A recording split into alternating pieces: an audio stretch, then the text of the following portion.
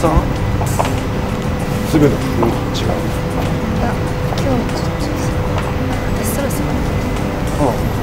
んじゃあ明日そういえば林さん昨日神楽坂にいた？いえ人違いじゃないですか？まあ雰囲気違ったからな。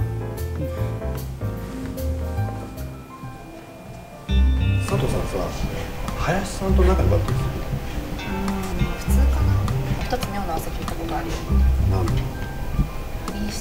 ない。かそう。お待たせ。飲み会来週の金曜日。場所お前場所ぐらい決めろよ。じゃあ神楽これの恵比寿じゃないの？坂恵比寿うるさいじゃん。相手30代だよなんでお前ハマっちゃって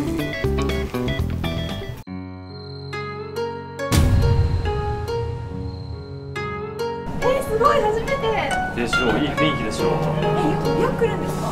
まあねもう若い町はねちょっと疲れちゃったからね。ねあー英語もいっぱいある。んだここもすごい。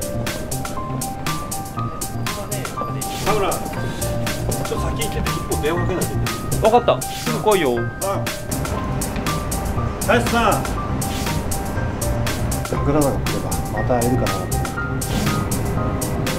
もしよかったら少しでいいから付き合ってもらえ？ないかなえいや。あうん。いいよ。